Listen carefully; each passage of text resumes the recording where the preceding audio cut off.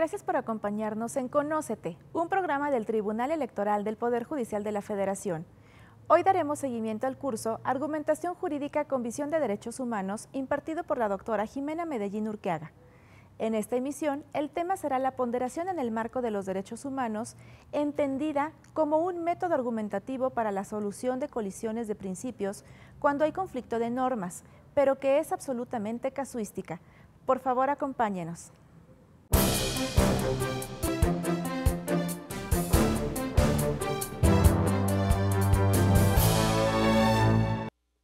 Cuando se emitieron los primeros códigos, los tribunales y los litigantes los odiaban. No querían litigar con códigos. Querían sus costumbres, querían poder alegar sus cosas, querían poder alegar sus fueros, querían alegar la novísima recopilación.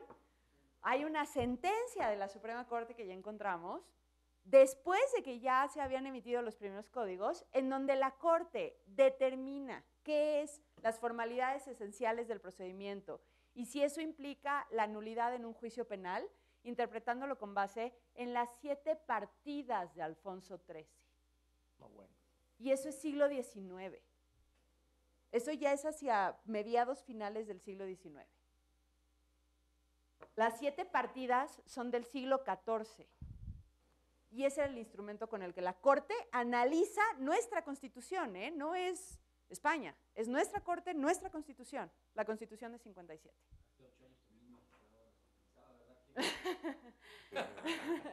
o sea, sí, ahorita nos apanigamos cuando nos citan a la quinta época. Pero el punto es, es, son cambios muy profundos y muy complejos. Ahorita dejen, ah, no lo traigo. Pero hay, es, Carlos Garriga tiene una descripción de cómo era el ejercicio del juez en el siglo XVIII, y si, digo, en el siglo XIX, en México, y si ustedes lo leen, se los juro que parece que es lo que les estamos pidiendo a los jueces hoy. Y el problema es que nos tardamos 100 años en satanizar eso. Y en 100 años, ya casi cuando lo lográbamos terminar, o ya que lo logramos satanizar, ahora le estamos diciendo, no, sí, vuélvanlo a hacer. Háganme usted el favor y vuélvanlo a hacer. Tome estos universos normativos dispares, en donde hay constituciones, leyes, interpretaciones, tratados y todo, tráigalos todos a su caso, concéntrese en su caso y llegue a soluciones justas en su caso ojalá y tuviera la frase esa de Carlos Garriga porque es espectacular. Les recomiendo que lo lean ya ahí en esos momentos tantos que les, deja, que les queda después de todo el trabajo que tienen todo el día. De verdad es un es impresionante leer lo que tuvimos que deshacer para introducir al código y lo que estamos teniendo que deshacer otra vez para sacar esa lógica formalista a la que en parte nos mandó en parte, no todo, pero en parte nos mandó la codificación. Pero para acabar el último tema, perdón que haya sido el último y tan rápido, la ponderación. Porque ya que llegamos a toda esta construcción, seguimos con estas colisiones que no solucionamos. La ponderación en, esta aproximación conceptual que les decía, a este está un poco más conceptualizado desde Alexi, un, método argumentativo para la solución de colisiones de principios en contraste con los criterios de solución de antinomias aplicables a los conflictos de reglas. Porque lo que dice Alexi es las soluciones de antinomias llevan a excluir, llegan a determinar, se, se mueven en la lógica de las validez, ¿no? La validez es lo que estás tratando de determinar el ámbito de validez, la validez absoluta, es decir, cuando tú dices una norma especial frente a una norma general, estás determinando valideces. Si dices una jerarquía, estás determinando validez. Y puedes invalidar normas.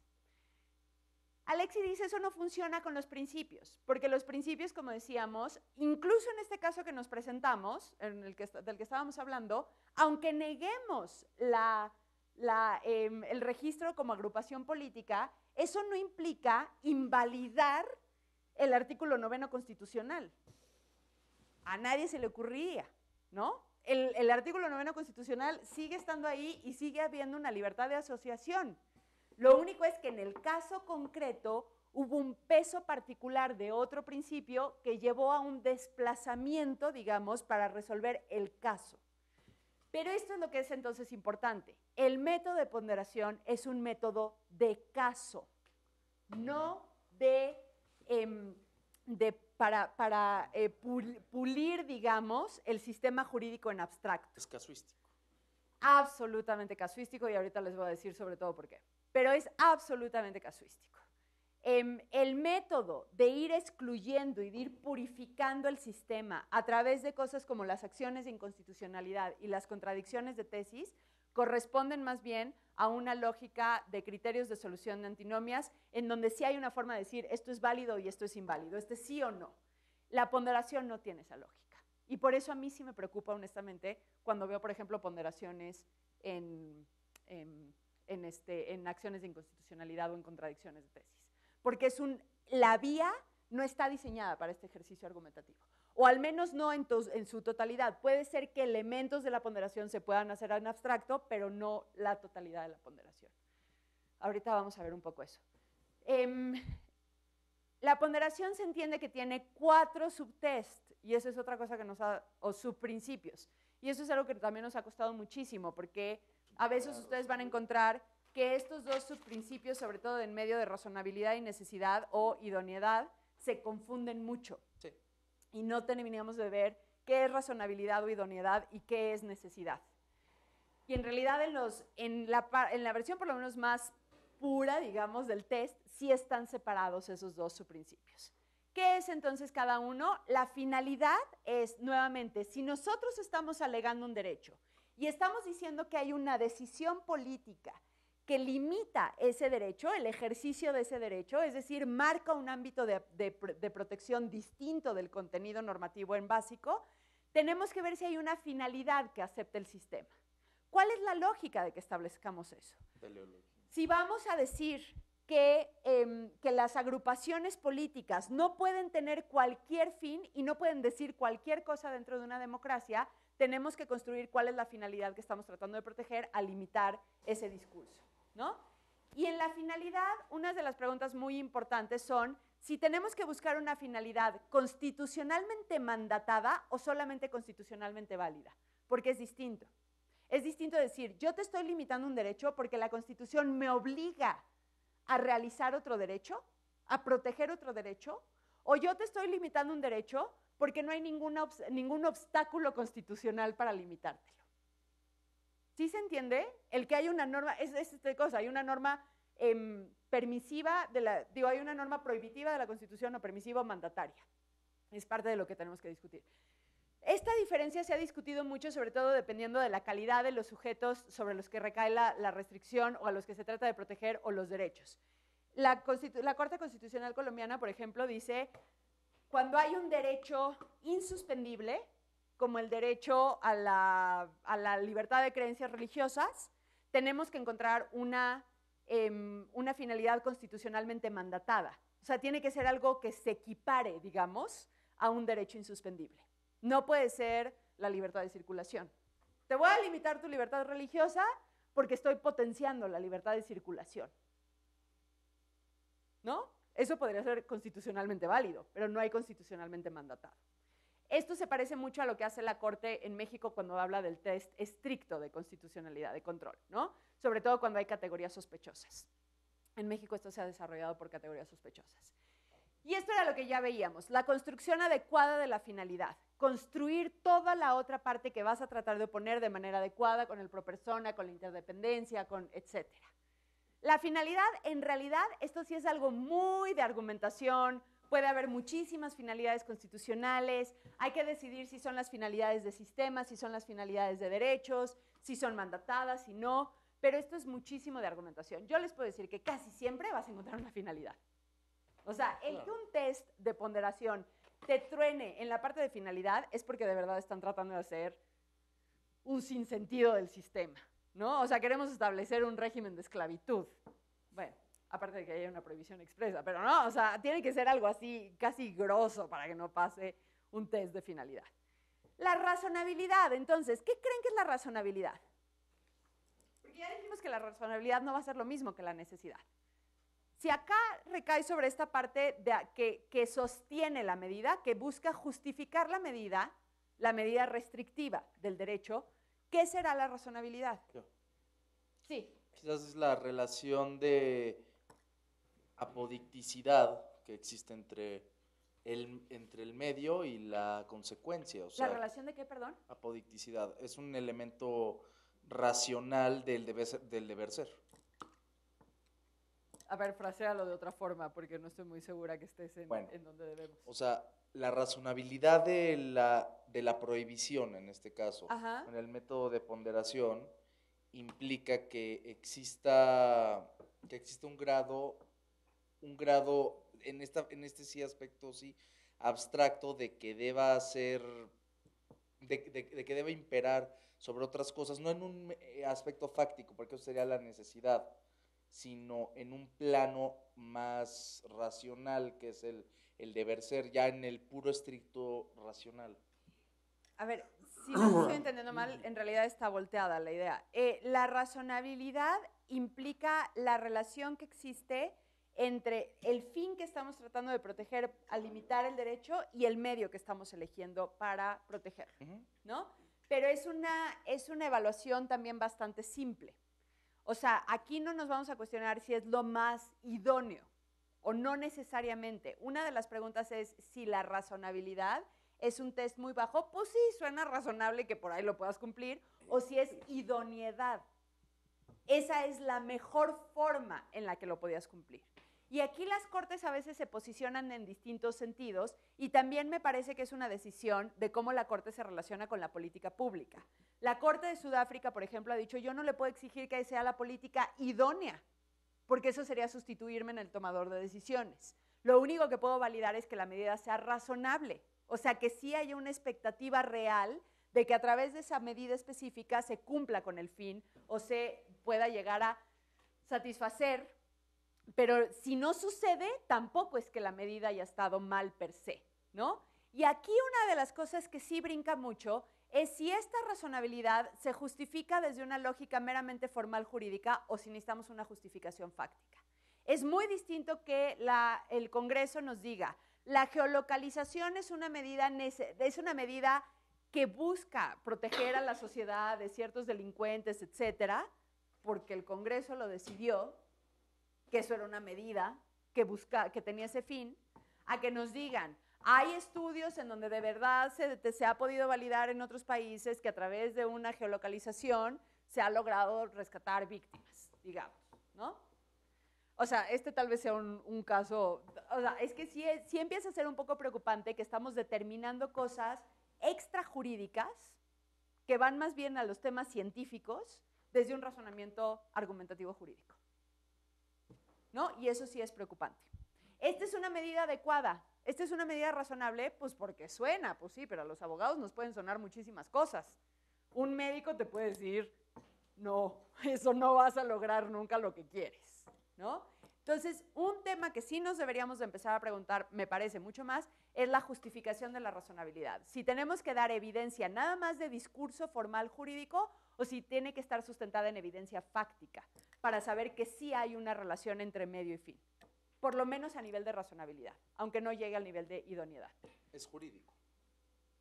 Ahorita se hace mucho jurídico. Me parece que deberíamos de empezar, por lo menos en algunos casos, a pedir más evidencia fáctica, no solamente evidencia jurídica. Eso más bien pudiera ser un juicio de valor, este, matiz axiológico, ¿no? estrictamente jurídico. Y es justo. Yo creo que eso estaría más bien en las finalidades, cuando discutes las finalidades. O sea, ¿es justo o no tomar esta decisión? Y después, si esta medida en particular llega a, a satisfacer o llega a poder realmente realizar eso que consideramos justo. ¿no? Em, la necesidad es el otro punto y la necesidad, aquí sí entramos a un debate de si esa medida que ya consideramos que sí puede llegar a cumplir esa, esa- ese fin, era la medida menos intrusiva para el derecho que queda afectado. Es decir, ok, sí, tal vez a través de la geolocalización es cierto que podemos identificar víctimas, que podemos llegar a localizar víctimas. Ahora, ¿esa era la medida menos intrusiva para lograr ese fin? Considerando que puede estar afectando la vida privada de una persona. Aquí es en donde sí se cuestiona, digamos, a la medida en sí misma frente al otro derecho afectado, pero todavía en un plano bastante abstracto. Todavía no necesariamente en el caso concreto. Y aquí otra vez hay preguntas que me parecen muy importantes. ¿Cómo se determina si hay medidas menos restrictivas? Y de eso nos baja directamente a la siguiente. Em, esta, otra vez, ¿es una evaluación sustantiva de la medida o del proceso de decisión? Yo quiero que me expliquen exactamente cada característica de la geolocalización para ver si no había una, una, medida menos restrictiva o lo único que quiero que me diga el, poder, el, el tomador de decisión es si consideró otras medidas. Porque si no estamos considerando otras medidas, entonces sí, quién sabe, nos, nos surge por lo menos un foco rojo de que no estamos seguros de que sea la menos restrictiva. Por eso les digo que mucho del, del, ejercicio de derechos humanos no es decirles, no me gusta tu medida, es ver cómo se llegó, o no me gusta tu decisión, es ver cómo fue el proceso de toma de decisión para ver que por lo menos se hayan considerado otras opciones. Y ahí la otra cosa que también es muy importante es en dónde cae, recae la carga de la prueba de la identificación de las otras medidas menos restrictivas. ¿La tiene que construir el, tribunal? Sí, con la sana crítica. La podría construir, pero es que también hay que decidir, mire, yo creo, desde aquí, desde aquí todos nosotros, abogados y abogadas, creemos que sí hay mejores medidas de localizar a alguien a través de medios técnicos que no sean la geolocalización estamos haciendo ficción, seamos honestos. ¿no? Hay lugares en donde no nos alcanza. Otra cosa es que la corte diga, quiero un peritaje, quiero que un experto, quiero llamar a un experto a que me diga si esto realmente tiene los efectos que, de restrictivos que me están diciendo, por ejemplo. Pero aquí hay un reconocimiento. Aquí lo que pasa es que los abogados nos tenemos que volver bien humildes y a veces no nos sale. En decir, no, no vamos a entender todo lo que nos traen. El abogado no va a entender todas las dimensiones presupuestales. El abogado no va a entender todos los problemas de telecomunicaciones. El abogado, por eso se dice que los derechos humanos es el área más nata del trabajo interdisciplinario. Porque el lenguaje jurídico, el, proceso de pensamiento jurídico necesita asistirse con otras, con otras especialidades para poder hacer las evaluaciones adecuadas. Pero entonces es, ¿a quién le corresponde la carga? Si es al que está alegando que la medida es restrictiva, al que tomó la decisión o al tribunal. Eso es un tema que me parece crucial que tenemos que discutir mucho más en México. Y después esto de queremos inventar otras medidas, entonces el tribunal dice, mire, yo sí creo que hay otras medidas y le voy a proponer como cinco, a ver cuál decide escoger después de que le diga que esto es inconstitucional. O decir, por lo menos dígame usted que consideró otras, otras medidas, porque entonces me enfoco más en el proceso de la toma de decisión y no en el resultado de la decisión. Pero otra vez estas son decisiones o preguntas que hay atrás de la ponderación que convierten a la ponderación en algo mucho más complejo y que literal la parte de la ponderación tal cual de la de, la, de, geolocalización, que es la que les estoy diciendo, es una página de la sentencia. En una página, la Corte dijo que se cumplían todos estos requisitos. En una página. Dijo, la medida es claramente razonable, la, medida está justificada, la medida es claramente razonable, la medida es necesaria, la medida y llegamos al otro punto, es proporcional.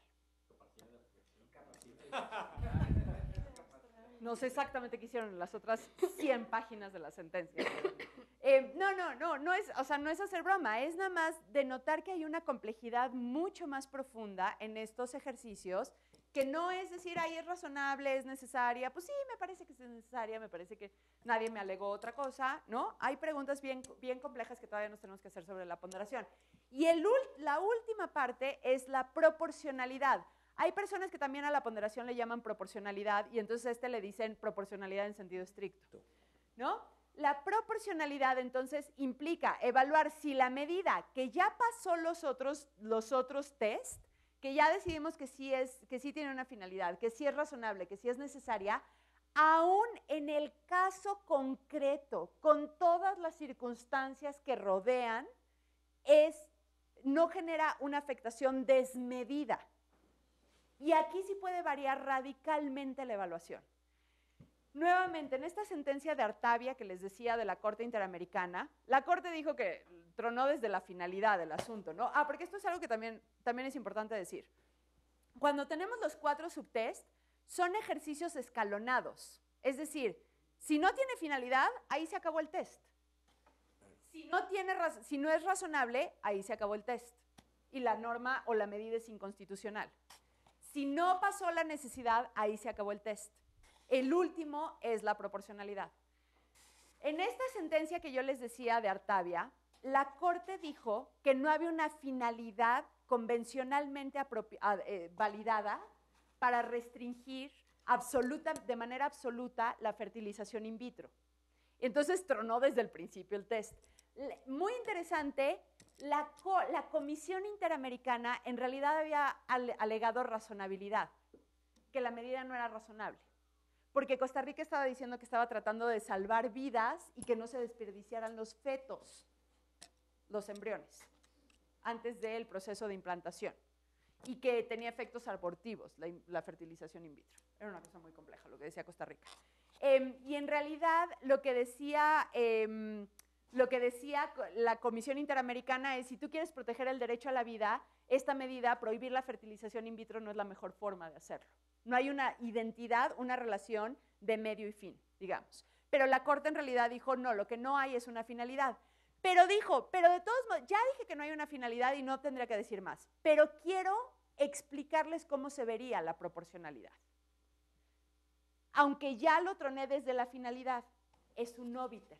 Es un obiter bien largo que hace la Corte. Y lo que dice es, esta medida, cuando la vemos en los casos concretos, era además desproporcionada en ciertos casos. Porque dentro de todas las víctimas que había en el caso Arta- Artavia, que eran varias, algunas parejas, por ejemplo, tenían recursos económicos suficientes y se fueron a hacer la fertilización in vitro a otro país a España y a Colombia en particular. Pero había víctimas que no tenían los recursos económicos. Y entonces la Corte dice, para esas víctimas, esta medida, esta prohibición era aún más gravosa porque sí implicaba que no había ninguna forma de que tuvieran un hijo. Y entonces aquí la Corte hace una cosa que a mí me parece brillante, que es vincular esta parte de la proporcionalidad con la discriminación indirecta. Es decir, hay medidas que no se piensan discriminatorias, pero que tienen un efecto diferenciado y eso lo podemos captar cuando vemos la proporcionalidad en el test de ponderación. Eso es una cosa que más o menos viene introduciendo la Corte Interamericana que todavía no está agotado, ¿no? Entonces, si vamos viendo todo esto, en nuestro caso que teníamos de inicio, podemos volver a pensar en cómo son esos dos derechos, en cuál van a ser los derechos afectados, en cuáles van a ser los derechos que tratamos de proteger y que nos generan la finalidad, en si realmente negar el registro es una medida razonable para proteger el derecho que estamos tratando de proteger. Si, había otra, si habría otra medida menos restrictiva para proteger ese derecho, esos derechos de los pueblos indígenas, sea los que hayamos construido. Pero sobre todo, si en el caso concreto otorgar o no el registro es desproporcionado para las condiciones que nos están alegando. Pero se puede invertir, dependiendo de en dónde recaiga la limitación. ¿sí? Pero el punto es que al final podemos llegar a decir, y aquí fue, por ejemplo, en donde em, podemos decir lo que decía Memo, como no hay una afectación real todavía a los pueblos indígenas, la medida sería desproporcionada en el caso concreto. Porque todavía estaríamos pensando en limitar un derecho bajo una potencial, bajo una potencial afectación de otro derecho. No estamos frente a una, frente a una eh, determinación absoluta. Pero eso también depende de cómo hayamos construido el resto del test. Pues sí. O sea, ¿qué te vas a esperar a que lo maten? En realidad. Ya que lo mataron, pues entonces. Lo que pasa es que eso también varía. Alguien mencionaba, em, y eso por eso les digo que se tienen que hacer estas interdependencias, porque lo que, lo que es muy conocido es que los, los ámbitos de protección de la libertad de expresión varían muchísimo, por ejemplo, en el sistema norteamericano y en el sistema europeo. Pero porque el sistema europeo tiene una clara visión de lo que ha sucedido con el holocausto y la, la propaganda de odio y etcétera. Entonces son dos sistemas que entienden la libertad de expresión distinta, ¿no? Y entonces en Estados Unidos sí, sí puedes salir a decir que odias a todo el mundo y que vas a matar a todo el mundo. Hasta en tanto no empieces a, a realizar actos de preparación para la realización, de tu, para llevar a la, a la materialización tu discurso discriminatorio, está protegido, está constitucionalmente protegido. En Europa tienen otro estándar.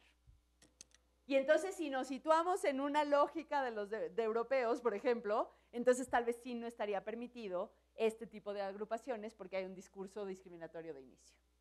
Pero por eso es importante ir construyendo esta identidad constitucional que nos ayuda a dar este entretelón, porque si no, en serio parece que el test de ponderación puede justificar cualquier cosa. Nos falta el entramado previo para que el test no parezca un ejercicio completamente arbitrario del juzgador. Y ahí es, oh, regreso a donde empecé, el cambio de no nada más darle el valor a las estructuras argumentativas, sino también a toda la estructura de argumentación material y pragmática, que es lo que lleva al derecho a reconectarse con los debates sociales y con los debates políticos, que le dan mucho más sentido a la estructura argumentativa formal. Este caso yo se los dije, se los puse a mis estudiantes de examen, cada examen fue dramáticamente distinto, dramáticamente distinto, todos con una gran argumentación, de verdad yo estaba muy impresionada, bueno, la mayoría. Eh, pero con una gran argumentación porque dependía muchísimo de esas decisiones intermedias que se fueran generando para que se pudiera operativizar todo el, el andamiaje de argumentación constitucional en derechos humanos de una forma que fuera siendo consistente, que en cada uno de los pasos te fuera llevando a una línea en donde entendieras, porque el resultado final era dar o no el registro. Porque eso también es importante, conservar la coherencia interna del argumento.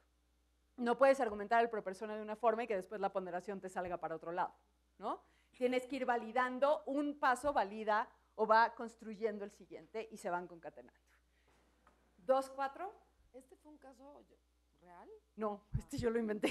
No, yo lo inventé para generar, o sea, lo que tratamos de hacer es generar puntos de mucha controversia y que abren estos espacios de discusión, ¿no? Muchísimos. La, mayor, la mayoría, ¿a qué conclusión La mayoría dijo que no lo daría, hubo nada más dos que dijeron que sí lo darían, en parte porque no consideraban que hubiera una afectación específica y por lo tanto la potencia de una violación a un derecho no era suficiente en el caso concreto para negar el registro. Claro. Y que aparte la construcción de la democracia lo enfatizaban mucho más en el debate libre de ideas, en donde no se podía eh, restringir previos, sino nada más podía haber responsabilidades ulteriores. Pero estos son chavos de sexto semestre. O sea, eso es otra cosa que también intentamos. El cambio de cultura jurídica sí empieza en la responsabilidad de las universidades de educar de forma distinta y por lo menos yo les puedo decir que es divertidísimo leer unos exámenes y aparte está 100% segura de que no se copiaron. Eso también es imposible copiar en un examen como estos porque te das cuenta en dos segundos. Pero bueno, esto es un poco lo que quería decirles. Em, fue rapidísimo. Cada uno de estos temas puede llevar 10 horas, 15 horas. Fue nada más una introducción. Espero que esto sea el principio de un proceso mucho más largo. De verdad, muchísimas felicidades al tribunal y a todas las salas, porque esto lo están haciendo particularmente ustedes. A veces es muy difícil encontrar estos espacios de discusión y de análisis con secretarios en otros lugares y creo que va a ser la forma en la que no nada más cuando lleguen nuestros estudiantes ya formados de otra, de otra lógica, sino que nuestros propios operadores de justicia de este momento empiecen a generar opciones muy interesantes y a darle realmente una vida al artículo primero, que como les dije, mi preocupación es que no lo estamos realmente operando. Estamos concentrados en el primer debate de la relación de tratados y constitución y todo esto no estamos llegando a la profundidad que deberíamos. Espero que les haya servido, espero que les haya sido interesante. Muchísimas gracias por la atención y nos vemos pronto, espero.